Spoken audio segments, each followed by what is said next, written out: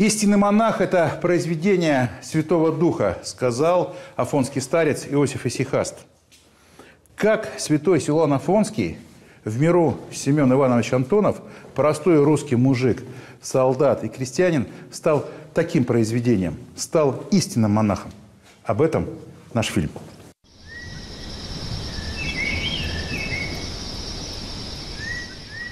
Утро 20 августа. Афон. Русский Свято-Пантелеймонов монастырь.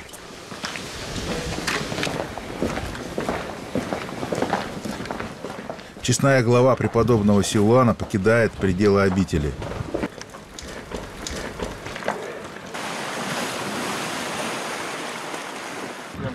Святыня впервые отправляется в паломничество по России.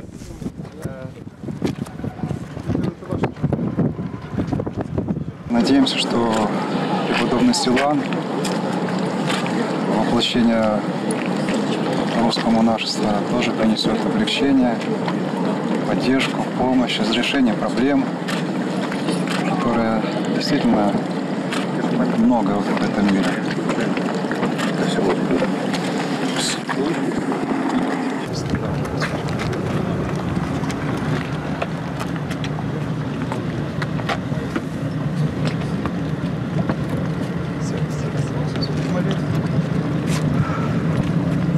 Отцы и братья, просим святых молитв, чтобы благополучно наш был путь. Да, вот. Будем ждать, молиться ждать. Возвращайтесь.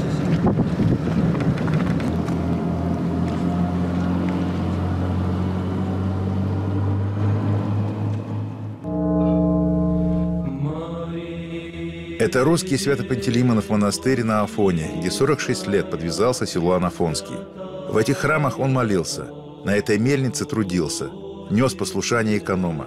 В этих кельях во время ночных бдений он записывал свои мысли и духовные переживания. Наш преподобный старец Силуан Афонский – это величайшее явление в жизни православия. Именно благодаря ему я и пришел на Афон. Одна из первых книг, которая тогда мне попалась на моем пути, это знаменитая книга, которая выдержала уже миллионы изданий, и на ней воспитывалось уже не одно поколение.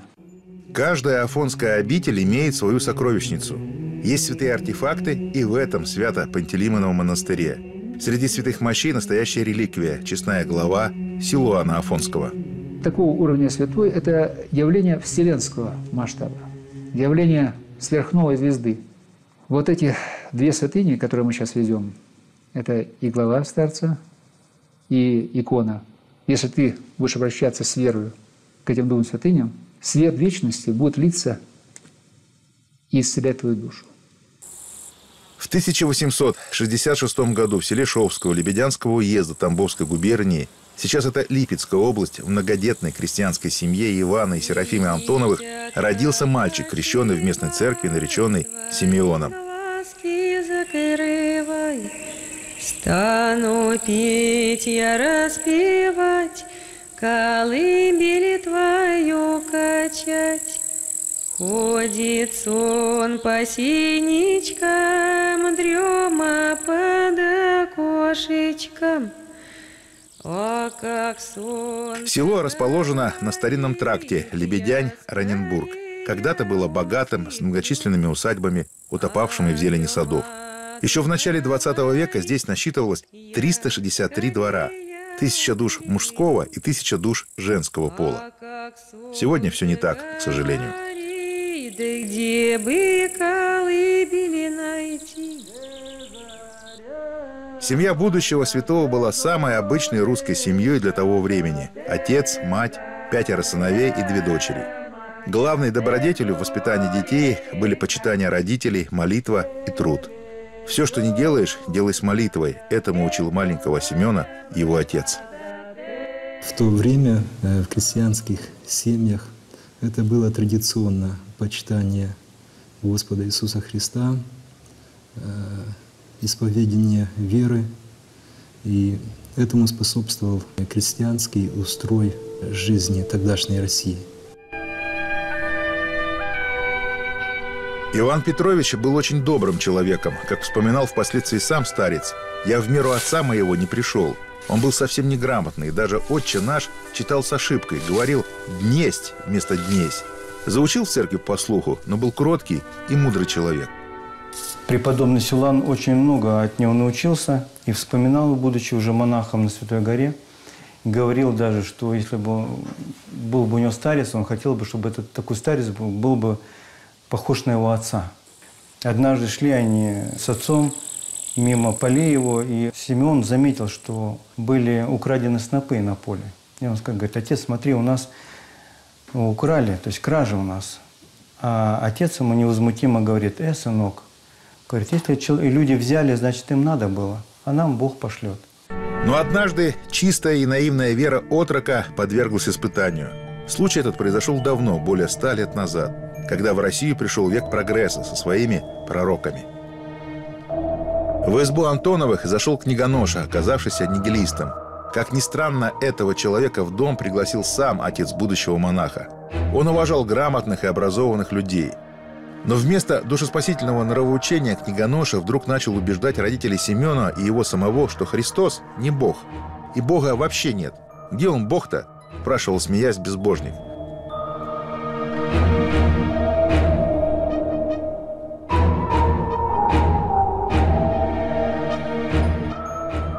Гость ушел. А мальчик в сомнении спросил отца, «Как ты меня учишь молиться?» А вот он говорит, что Бога нет, на что отец только махнул рукой. Я-то думал, что он умный человек, а он оказался дурак. Не слушай его. Но в душе мальчика все равно зародились сомнения, над которыми он размышлял еще очень долгое время. И полностью они разрешились только на Афоне. И тогда вот, вот в детстве у, у Семена произошла такая как бы ну, борьба. Он стал искать Бога. И сказал, что, что когда я вырасту, я обязательно пойду искать Бога. Семен вырос дюжим парнем с поистине богатырской силой. Вот как писал о его силе иеромонах Сафроний. Однажды на Пасху после обильного мясного обеда мать предложила ему яичницу. Он не отказался. Мать сварила ему целый чугун до полусотни яиц, и он все съел – праздники иногда ходил в трактир. Были случаи, что он выпивал за один вечер 3 литра водки, но пьяным не бывал. Однажды в сильный мороз сидел он на постоялом дворе.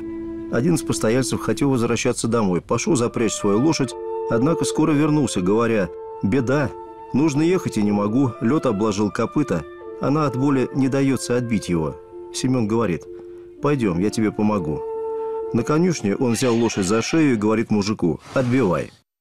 Лошадь стояла, не шелохнувшись. Мужик отбил лед с копыт, запряг и уехал. Трудился он с братьями в артели имения князей Трубецких. Там же была кухарка, которая ходила на богомоле и посетила могилу широко почитаемого затворника Иоанна Сизиновского. В артели говорили о святом Иоанне. Во время такого разговора 19-летний Семен подумал, если он святой, то значит Бог с нами, и незачем мне ходить по всей земле искать его. Тогда в юношеском порыве он захотел уйти в Киево-Печорскую лавру. Но не посмел ослушаться отца, который сказал сначала послужи царю и отечеству в армии. Вот это оставление в миру угасило этот пламень ревности. Он стал заниматься вот такими мирскими как бы утехами, играть на гармошке, даже впал в какие-то грехи. Парнем он был рослым, сильным умел зарабатывать, умел и веселиться, за что считался среди девок завидным женихом.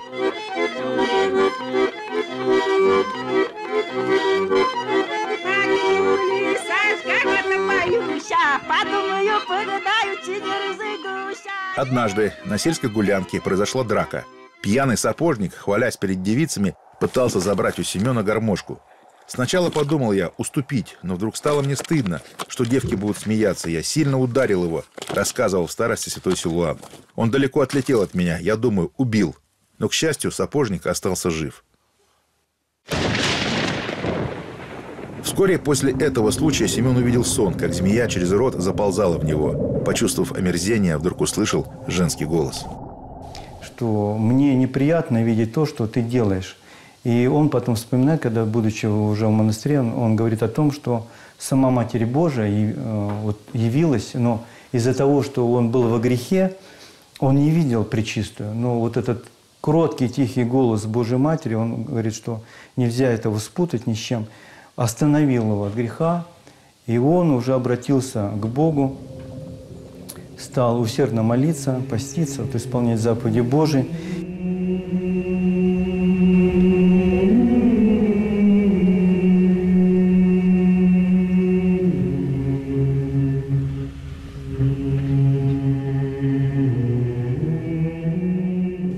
Вскоре Семена забрали на военную службу в Санкт-Петербург. Саперный гвардейский батальон. Возможно, отец надеялся на то, что строгий распорядок солдатской жизни изменит душевный настрой сына, а юношеские мечты о монашестве понемногу войдут в спокойное русло мирского благочестия. Расчет был верным. В казарме при многолюдстве и постоянной занятости держать ум в молитве было трудно. Душа страдала от суеты, от голода по молитвенной жизни.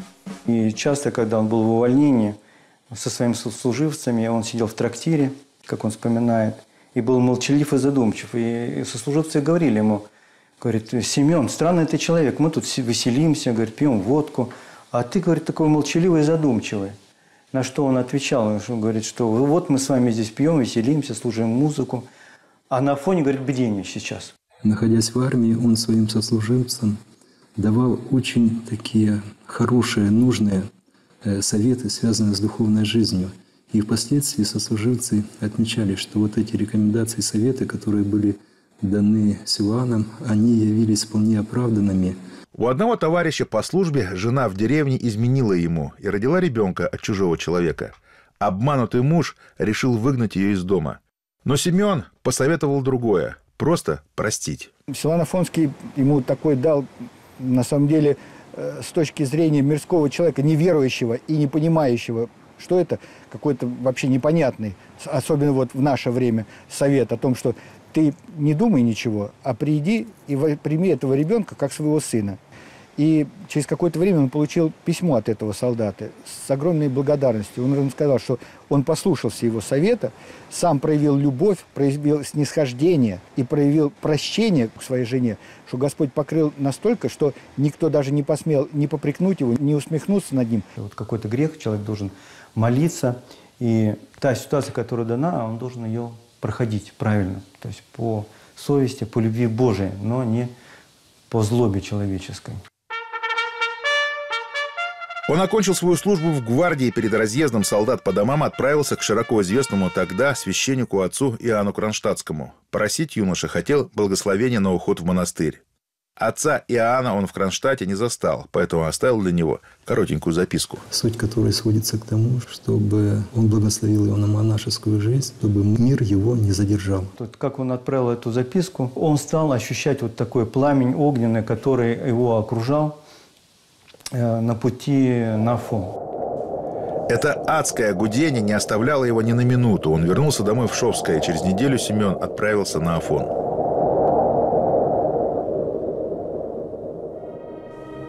Я любил поля, весь свет Божий, как он красиво создан. Но с тех пор, как я познал Господа моего, и он пленил душу мою, все изменилось в душе моей. И я уже не хочу смотреть на этот мир, но душа моя непрестанно влечется в тот мир, где живет Господь.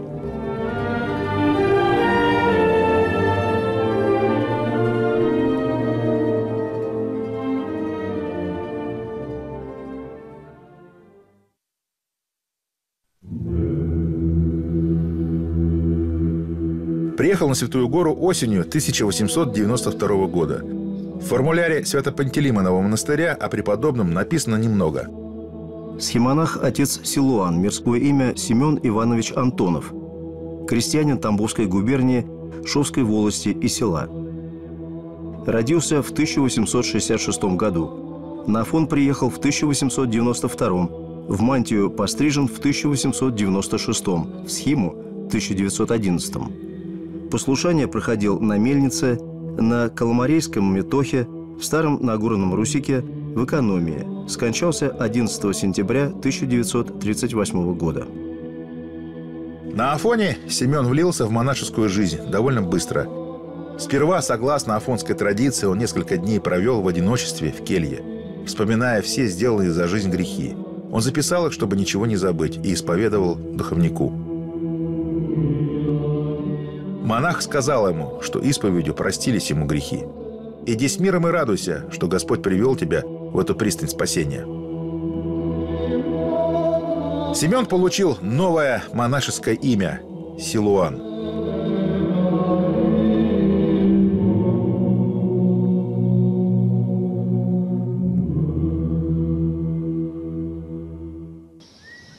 Его послушание в монастыре была работа на мельнице. То время в нашем монастыре здесь, на Афоне, жило только в самом монастыре 2000 людей. Случилось так, что на мельнице не осталось ни одного человека. И тогда Силуан, имея от Бога э, великие физические данные и возможности, сам выполнял послушание за 10 человек. Сейчас даже трудно себе представить. Ворочал мешки огромные с зерном, с мукой, не, не щадил себя можно было там передохнуть, так он время отдыха отдавал молитве. Ночью молился, днем работал. После этой работы Силуан нес послушание эконома. Он отличался непосредственно любовью ко всем э, людям и ко всем тем, кто окружали его. Он знал имена всех людей, которые у него работают. На его участке шло качественная и самая быстрая э, постройка, потому что он молился и среди э, простых рабочих э, не было ссор и скандалов. Когда была куплена паровая машина на лесопилку, то один из монахов при старце начал нахваливать, машина была немецкая, нахваливать, вот какие немцы умные, какие они хорошие машины делают, а вот мы русские, типа, нам до них далеко, и мы там отсталый народ и так далее, и так далее. И старец Силан вступился за свою родину, за Россию, сказал, а почему ты так ругаешься? Зачем ты так говоришь? А тот монах накинулся на старца Силуана, что что ты, мол, понимаешь, там, ты там, не очень такой, секой, розетки. А на что старец удивительные слова, простейшие слова сказал. Он сказал, ты когда-нибудь слышал, чтобы я осудил хоть кого-нибудь? Он развит был хорошо и физически, и духовно. Черты лица отражали его духовный мир. Он был спокоен, уравновешен, сосредоточен. Спал новый монах Силуан по два часа в сутки. Не больше, и то урывками, по 15-20 минут. Такой подвиг преподобный взял на себя, поскольку изнемогал от тяжелой бесовской брани и старался ни на минуту не оставлять молитву. Молился в келье, э, сидя на скамеечке. Даже пишет о том, что он подвязывал э, руки веревкой э, с тем, чтобы не уснуть.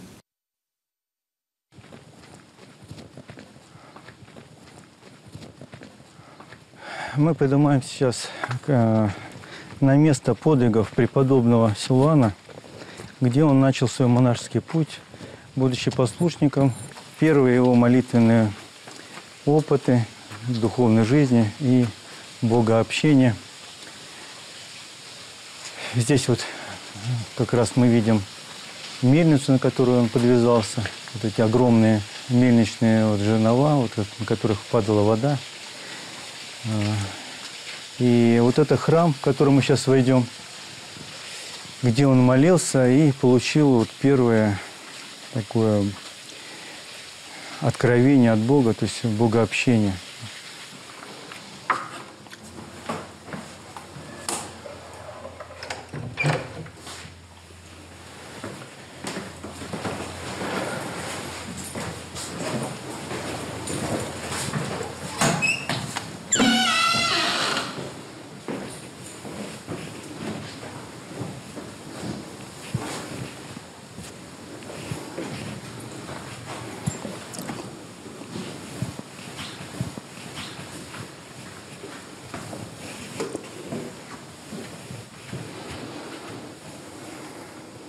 Этот предел, а, вот как раз тот храм, где молился преподобный Силан. Однажды, доведенный до отчаяния, он закричал, невозможно умолить Бога. И он был в таком состоянии, близко к отчаянию. Он молился с таким воплем, потому что он был в таком состоянии богооставленности. Терзаемый сомнениями в промысле Божьем, Силуан пришел в храм. Взглянув на икону, он с болью обратился к Господу с молитвой. «Господи, Иисусе Христе, помилуй меня». И как только он произнес эти слова, в иконе, ему появился образ Божий на некоторое мгновение. И вот этот образ Божий заполнил огнем все его сердце, все его тело. И если бы Господь задержался еще одно мгновение, то Силуан бы этого не выдержал, потому что Господь — это пламень огненный, Он обжигает. Он не мог забыть тот кроткий, всепрощающий взор Господа, который буквально передал ему состояние вот этой вселенской любви. За 40 или 50 лет своей жизни, уже после явления, он говорил, я не могу ни на кого разгневаться, не мог ни на кого разгневаться. Другие там осуждали там и все прочее. Но он никогда никого не осуждал. Он не мог уже осудить. Здесь вот мы видим фреску явление Иисуса Христа преподобному Силуану. Вся жизнь его была пронизана исканием Христа и возвращением благодати вот, э, Святого Духа э, ему. И когда благодать умолялась, то душа его плакала, молилась о том, чтобы Господь обратно вернулся ему и утешил плачущую, стражущего душу. Помысел, посеянный в детстве словами вольнодумного книгоноши, смущал и не давал душевного покоя Силуану, доведя его до отчаяния, пока не произошло это удивительное уверение у иконы Спасителя. Чудо это особенно важно в наш век сомнений и рационализма. Икона Спасителя, у которой произошло это благоявление, существует до сих пор на том же самом месте, где и была во времена святого Силуана, в храме святого преподобного Илии, что на жерновах. Наступил 1905 год. Русско-японская война в самом разгаре. На пороге первая русская революция. Власти вызвали из-за рубежа всех военнообязанных гвардейцев. Среди них был и Силуан. Но на войну монаха не призвали, по возрасту не прошел. Преподобный Силуан пробыл дома почти год.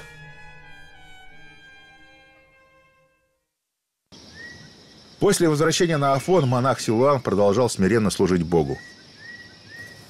Мы с вами находимся на дорожке, по которой наш преподобный старец ходил из прибрежного Русика на горный Русик, в котором жили такие же, как он, старцы, подвязающиеся молитве, посте –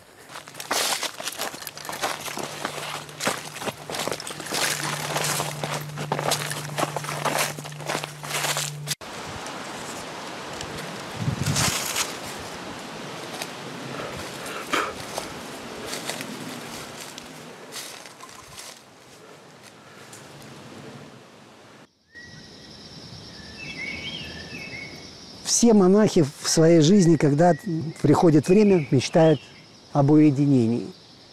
Также и наш батюшка Силуан.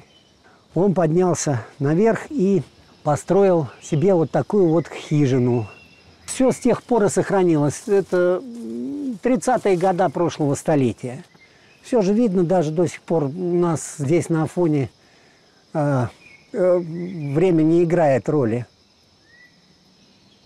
Такие, как старцы Силуан, э, рождаются, наверное, один на миллион людей с такими дарами, которые Господь его наделил.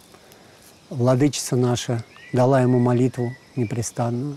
Он почувствовал любовь Господа к себе и, и ее хотел передать окружающим. Его двухклассное образование оно позволило ему впоследствии написать э, записки содержание которое очень доступно для всех тех, кто читает.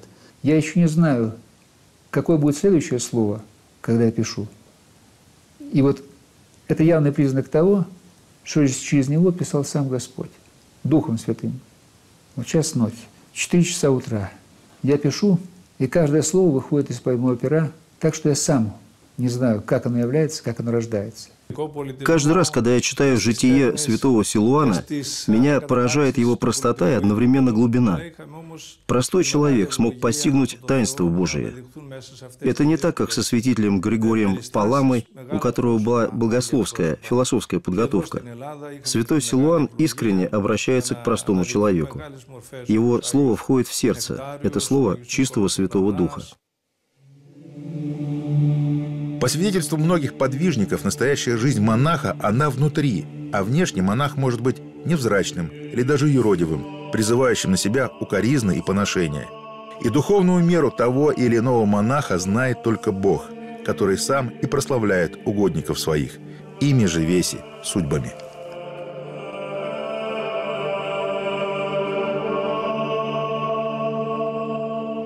С ним жили те, которые видели его каждый день и удивлялись.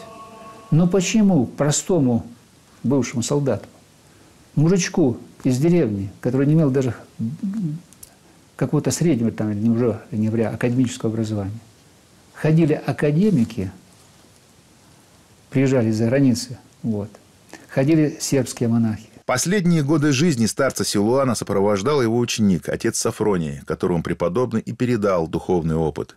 Перед смертью старец отдал Сафронию свои записи. Они-то и стали книгой под названием «Честная глава Силуана Афонского». Мы прочитали его книгу, и поэтому я попросил у отца Авеля дать мне приложиться к честной главе святого Силуана. Я подошел полклониться ей. Меня берут за плечо и говорят, простите, отче, он еще не признан на святой, не совершайте земного поклона. Я говорю, Геронда, благословите, он святой в моем сердце. Разрешите мне поклониться. Да будет благословенно. Я совершил земные поклоны, облобызал честную главу, помолился и потом говорю, Геронда, благословите меня дать частицу святых мощей. С удовольствием. Он взял святую главу и отрезал мне вот такой кусочек, который я завернул в вату и положил в карман.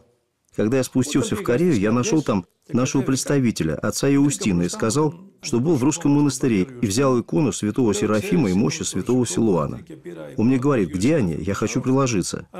И когда я вынул их из кармана, я увидел, что они стачали столько мира, что наполнили мой подрясник до пояса. Много мира, сильно благоухающий мира. И вы понимаете мое волнение после этого.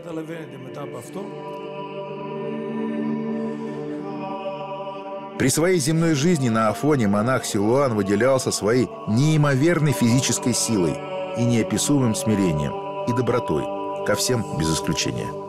Самое главное – это любовь. Та любовь, которой он обладал, а, а, она, ну, не, не, не всем дана. Сожалению, мы часто используем это слово «любовь», да, но оно, мы его несколько смысл оно теряет.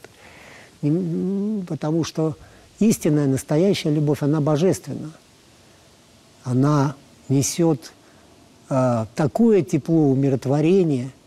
И вот старец Силуан именно этим, э, наверное, и угодил Богу своей любовью, удивительной любовью. «Молю Тебя, милостивый Господи, да познают Тебя Духом Святым все народы земли». В этой молитвенной фразе духовный опыт старца Силуана, который считал, что Дух Святой может обитать только в сердце всем, без исключения желающим спасения.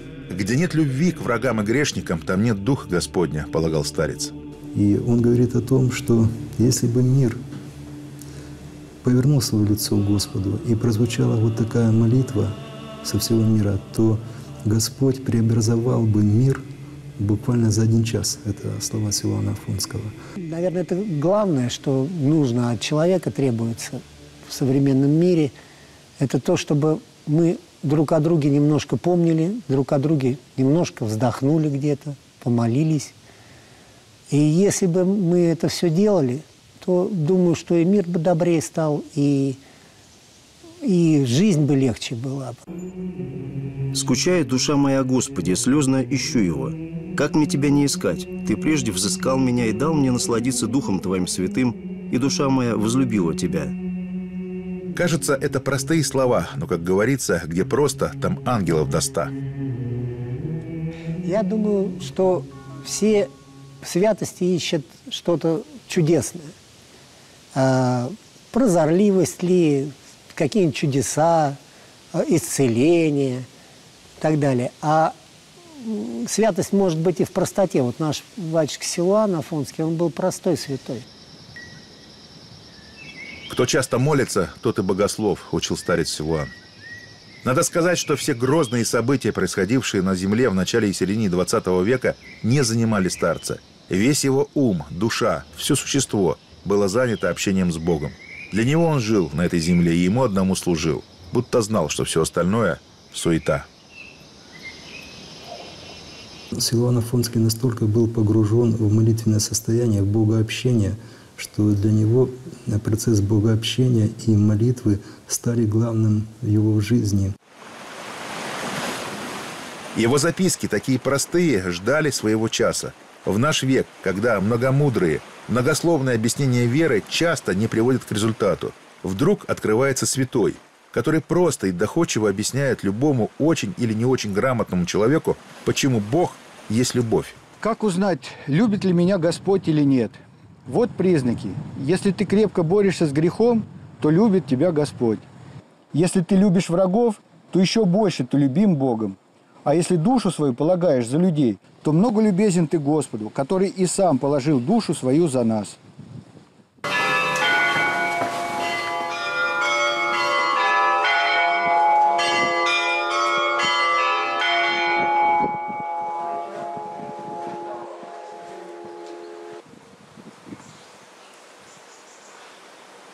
Человека борет страсти, его борет грех.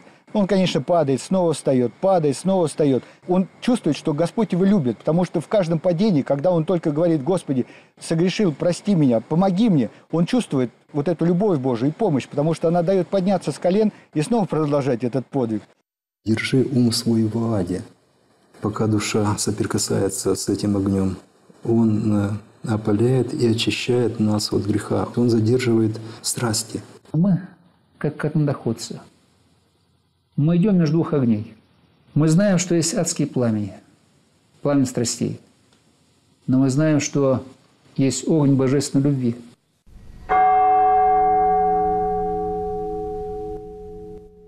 И вот пришло время, 1938 год. Монаху Силуану выпало собираться в дальнюю дорогу, в вечность. Старец сильно заболел – Сначала не хотел идти в больницу, но братья настояла. Чувствовал он себя все хуже и хуже, готовясь к переходу в вечность. Отвечал только на самые важные вопросы. В полночь зашел к преподобному монастырский врач, чтобы узнать, как у того дела и не нужно ли чего. Старец Силуан спросил его, читают ли утреннюю. Лекарь ответил утвердительно, удивившись, как больной мог слышать в больничной палате, что идет служба. По окончании он снова зашел к старцу и увидел, что тот уже упокоился в Господе. Это было 24 сентября 1938 года в 2 часа ночи. В тот же вечер старец был погребен.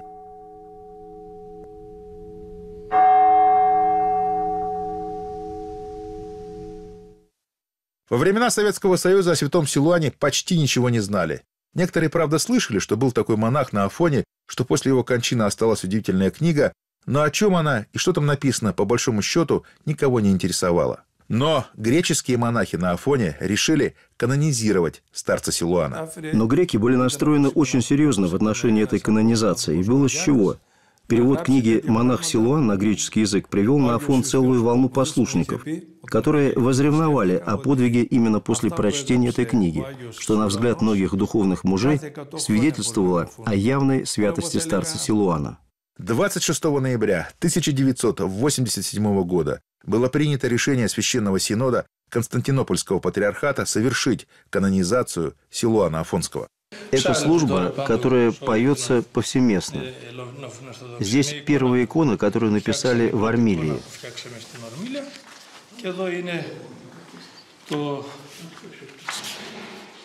Здесь разрешение от патриархии.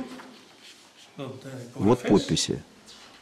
Здесь разрешение от священного кинота на эту службу, подписи членов собора.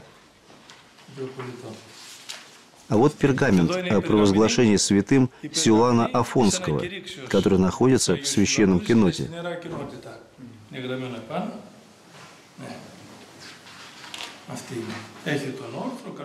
Здесь, естественно, есть утренняя, вечерняя, молебный канон. Вот икона которую написал отец Сафроний.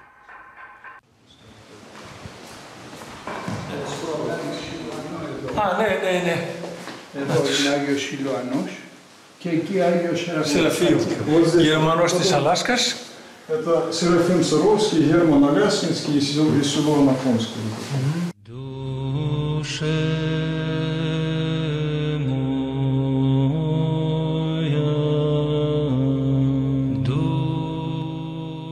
святце Московского патриархата имя Силуана Афонского было внесено только после падения Советского Союза в 1992 году.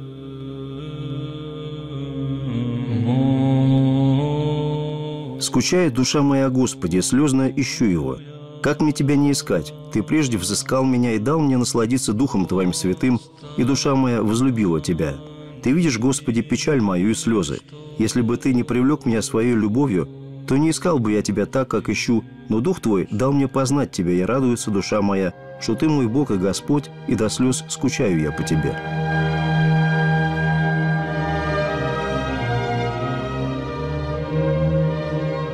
Старец Силуан показал нам свет той крестьянской духовности, которая некогда была присуща всему русскому народу. Это была совсем другая Россия, та самая, которую мы потеряли. Старец же Силуан показал, что христианская культура отличалась порой не просто вежливостью по отношению к окружающему миру и людям, но и давала простые, но в то же время точные ответы на основные вопросы, которые волнуют человека на земле – для чего он пришел на эту землю? Зачем живет и умирает? Ведь основные вопросы жизни просты, и ответы на них давались простые и бесхитростные, но очень точные. Жизнь свою я провел в добре и во грехах и узнал за 60 лет, какую силу имеет привычка. И душа, и ум могут приобрести привычку, и к чему привыкнет человек, то и делает. Если привыкнет к греху, то так и будет постоянно тянуть к греху и бесы в том помогают. А если привыкнет к добру, то Бог ему в том содействует своей благодатью. Так, если привыкнешь постоянно молиться, любить ближнего и плакать в молитве за весь мир, то так будет влечься душа к молитве, слезам и любви. В своей книге монах Силуан написал однажды потрясающую фразу. «Человек словно полевой цветок, все его любят и все топчут ногами». В молитвах преподобного Силуана Афонского все время звучали прошения о мире – Молитвам старец придавал огромное значение. Он в некотором роде сопоставлял их с пролитием крови за людей. Силуан считал, что благодаря этим обращениям к Богу сохраняется мир, ослабнет молитва, и мир не устоит. «О народы! Слезно пишу я эти строки. Душа моя хочет, чтобы вы познали Господа и созерцали милость Его и славу. Мне 72 года – я скоро должен умереть. И пишу вам о милости Господней, которую дал мне Господь познать Духом Святым. И Дух Святый научил меня любить народ. О, я посадил бы вас на высокую гору, чтобы с высоты я, вы могли увидеть кроткое и милостивое лица Господа, и возрадовались бы сердца ваши. Истинно говорю вам, я не знаю в себе ничего доброго – и много у меня грехов. Но благодать Святого Духа изгладила многие мои грехи, и знаю я, что тем, кто борется с грехом, Господь дает не только прощение, но и благодать Святого Духа, которая радует душу и дает ей глубокий и сладкий мир –